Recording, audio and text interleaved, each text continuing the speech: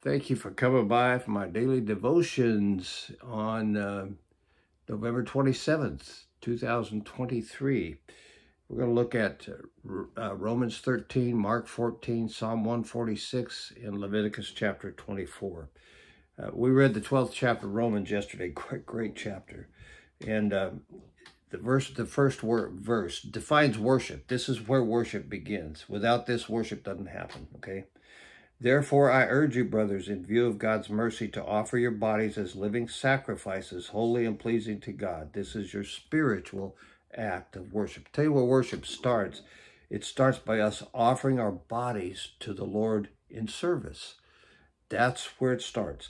And everything about worship flows from that position. That is our spiritual act of worship. That's where worship begins, by us giving us back to the Lord to serve him. That's where worship starts. There's a lot of confusion about worship. We think it's just getting together in a worship service, raising our hands and singing. That's part of it, but it starts by surrendering your life to the Lord to serve him. Well, let's take a minute and pray. Father, speak to us today. Change our lives by what we hear. Make us fresh and new by the word we hear from you. For we pray it in Jesus' name. Amen. Romans chapter 13. Everyone must submit himself to the governing authorities, for there is no authority except that which God has established. The authorities that exist have been established by God. Consequently, he who rebels against the authority is rebelling against what God has instituted, and those who do so will bring judgment on themselves. For rulers hold no terror for those who do right, but for those who do wrong. Do you want to be free from fear of the one in authority? Then do what is right, and you will, and he will commend you. For he is God's servant to do you good. But if you do wrong, be afraid, for he does not bear the sword for nothing. He is God's servant, an agent of wrath to bring punishment on the wrongdoer. Therefore, it is necessary to submit to the authorities, not only uh, uh, not only because of possible punishment, but also because of conscience. This is also why you pay taxes, for the authorities are God's servants to give you their full time to give their full time to governing. Give everyone what you owe him. If you owe taxes, pay taxes. If revenue, then revenue. If respect, then respect. If honor, then honor. Let no debt remain outstanding except the continuing debt to love one another. For he who loves his fellow man has fulfilled the law, the commandments. Do not commit adultery, do not murder, do not steal, do not covet, and whatever other command there might be are summed up in one rule. Love your neighbors yourself. Love does no harm to its neighbor. Therefore, love is the fulfillment of the law. And do this, understanding the present time. The hour has come for you to wake up from your slumber, because our salvation is nearer than when we first believed. The night is nearly over, the day is almost here. So let us put aside the deeds of darkness and put on the armor of light. Let us behave decently as in the daytime, not in orgies and drunkenness, not in sexual immorality and debauchery, not in dissension and jealousy Rather, clothe yourselves with the Lord Jesus Christ and do not think about how to gratify the desires of the sinful nature. And then Mark chapter 14. This is a very important chapter. Mark 14, and it's a long chapter. 72 verses, I think it is. But it establishes a whole lot of important stuff. So we're going to chop through it, okay? Now the Passover and the Feast of Unleavened Bread were only, only two days away. And the chief priests and teachers of the law were looking for some sly way to arrest Jesus and kill him. But not during the feast, they said, or the people may riot. While he was in Bethany, reclining at the table in the home of a man known as Simon the leper, a woman came with an alabaster jar of very expensive perfume made of pure nard. She broke the jar and poured the perfume on his head. Some of those present were saying indignantly to one another, Why this waste of perfume?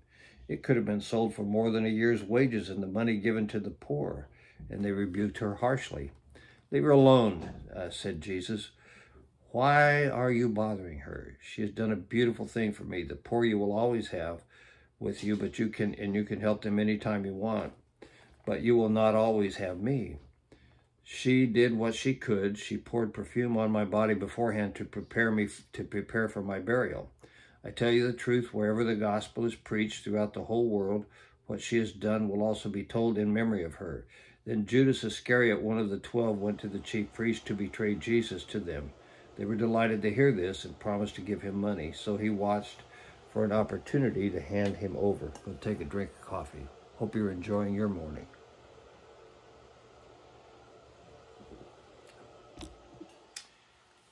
On the first day of the Feast of Unleavened Bread, when it was customary to sacrifice the Passover lamb, Jesus' disciples asked him, Where do you want us to go and make preparations for you to eat the Passover? So he sent two of his disciples, telling them, Go into the city, and a man carrying a jar of water will meet you. Follow him.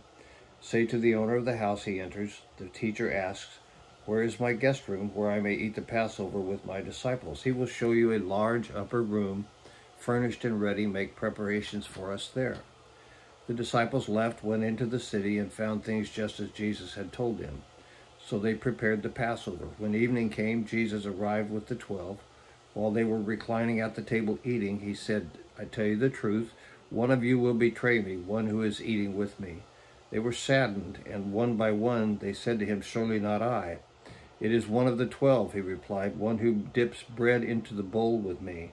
The Son of Man will go just as it is written about him, but woe to that man who betrays the Son of Man. It would be better for him if he had not been born. While they were eating, Jesus took bread, gave thanks, and broke it, and gave it to them, saying, to his disciples, saying, Take, take it, this is my body. Then he took the cup, gave thanks, and offered it to them, and they all drank from it. This is my blood of the covenant, which is poured out for many. He said to them, I tell you the truth, I will not drink again of the fruit of the vine until that day when I drink it anew in the kingdom of God. When they had sung a hymn, they went out to the Mount of Olives. You will all fall away, Jesus told them, for it is written, I will strike the shepherd and the sheep will be scattered. That's Zechariah 13, 7. After, but after I have risen, I will go ahead of you into Galilee. Peter declared, even if all fall away, I will not. I tell you the truth, Jesus answered, today, tonight, today, yes, tonight, before the rooster crows twice, you will disown me three times. But Peter insisted emphatically, even if I, even if I have to die with you, I will never disown you. And all the others said the same. They went to a place called Gethsemane, and Jesus said to his disciples, Sit here while I pray. He took Peter, James, and John along with him, and he began to be deeply distressed and troubled. My soul is overwhelmed with sorrow to the point of death, he said to them. Stay here and keep watch. Going a little farther, he fell to the ground and prayed that if possible, the hour might pass from him. Abba, Father, he said, everything is possible for you. Take this cup from me, yet not what I will, but what you will. Then he returned to his disciples and found them sleeping. Simon, he said to Peter, Are you asleep? Could you not keep watch for one hour? Watch and pray so that you will not fall into the temptation. The spirit is willing, but the body is weak. Once more he went away and prayed the same thing. When he came back, he, he found them sleeping because their eyes were heavy. They did not know what to say to him. Returning the third time, he said to them, Are you still sleeping and resting enough? The hour has come. Look, the Son of Man is betrayed into the hands of sinners. Rise, let us go. Here come my betrayers. Just as he was speaking, Judas, one of the twelve, appeared. With him was a crowd armed with swords and clubs, sent from the chief priests and the teachers of the law and the elders. Now the betrayer had arranged a signal with them. The one I kiss is the man. Arrest him and lead him away under guard. Going at once to Jesus, Judas said, Rabbi, and kissed him. The men seized Jesus and arrested him. Then one of those standing near drew his sword and struck the servant of the high priest, cutting off his ear. Am I leading a rebellion, said Jesus, that you have come out with swords and clubs to capture me? Every day I was with you teaching in the temple courts, and you did not arrest me. But the scriptures must be fulfilled. Then everyone deserted him and fled.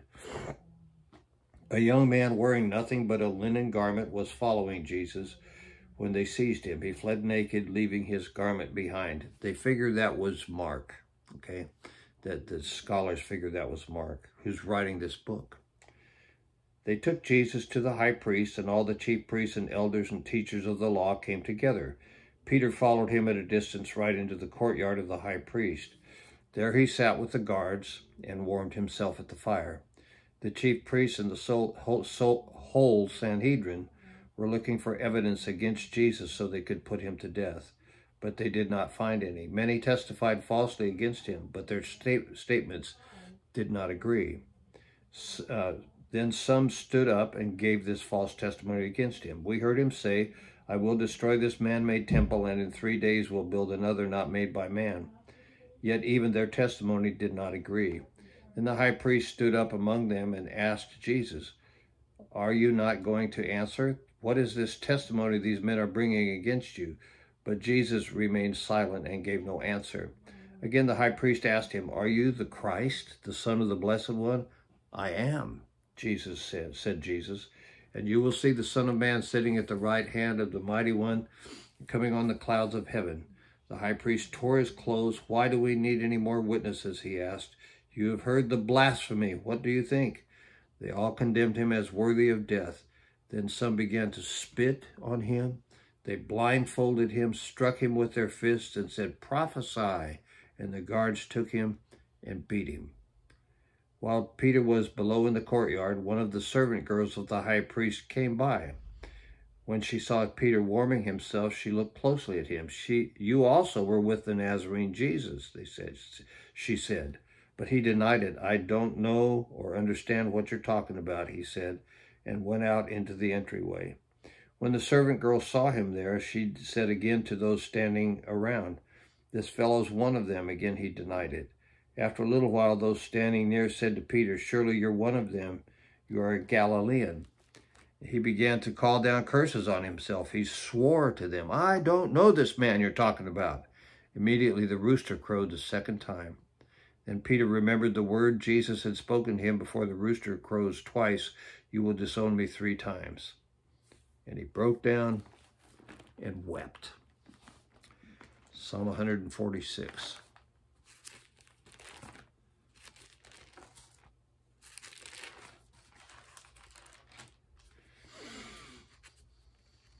Psalm 146.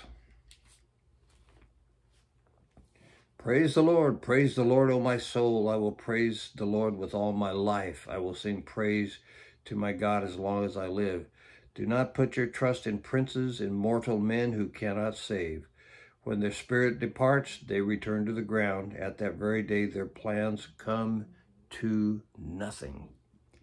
Blessed is he whose help is the God of Jacob, whose hope is the Lord his God, the maker of heaven and earth, the sea and everything in them, the Lord who remains faithful forever.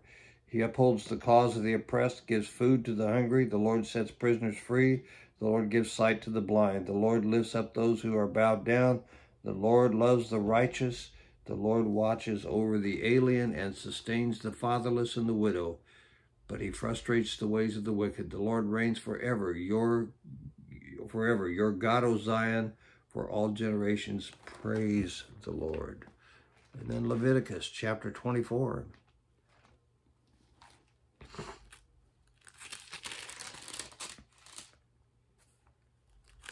Leviticus chapter 24. The Lord said to Moses, Command the Israelites to bring you clear oil of pressed olives for the light, so that the lamps may be kept burning continually. Outside of the curtain of the testimony in the tent of meeting, Aaron is to tend the lamps before the Lord from evening till morning continually. This is to be a lasting ordinance for the generations to come. The lamps on the pure gold lampstands before the Lord must be tended continually. Take fine flour and bake 12 loaves of bread using two-tenths of an ephah for each loaf. Set them in, in two rows, six in each row, on the table of pure gold before the Lord. Along each row, put some pure incense as a memorial portion to present the bread to be an offering made to the Lord by fire. This bread is to be set out before the Lord regularly, Sabbath after Sabbath, on behalf of the Israelites as a lasting covenant. It belongs to Aaron and his sons who are to eat it in a holy place because it is a holy part of the regular share of the offerings made to the Lord by fire. Uh, now the son of an Israelite mother and an Egyptian father went out among the Israelites, and a fight broke out in the camp between him and an Israelite. The son of the Israelite woman blasphemed the name with a curse, so they brought him to Moses. His mother's name was uh, Shelomith, the daughter of Dibri, the Danite. They put him in custody until the will of the Lord should be made clear. Then the Lord said to Moses, Take the blasphemer outside, outside the camp. All those who heard him are to lay their hands on his head, and the entire assembly is to stone him. Say to the Israelites, if anyone curses his God, he will be held responsible. Anyone who blasphemes the name of the Lord must be put to death, must be put to death. The entire assembly must stone him, whether an alien or native born. When he blasphemes the name of the Lord, he must be put to death. If anyone takes the life of a human being, he must be put to death. Anyone who takes the life of someone's animal must make restitution, life for life. If anyone injures his neighbor, whatever he has done must be done to him. Fracture for fracture, eye for eye, tooth for tooth. As he has injured the other, so he must be injured. Whoever kills an animal must make restitution, but whoever kills a man must be put to death. You are to have the same law for the alien and the native born. I am the Lord your God. Then Moses spoke to the Israelites, and they took the blasphemer outside the camp and stoned him. The Israelites did as the Lord commanded Moses. Let's pray. Father, thanks for speaking to us, Father. Change our lives by the truth we hear from your word. Make us different because we heard from you. Uh, with a new law on our hearts. Change us from the inside out, Father, and make us new on your terms. We pray in Jesus' name. Amen. Bless you. Have a great day.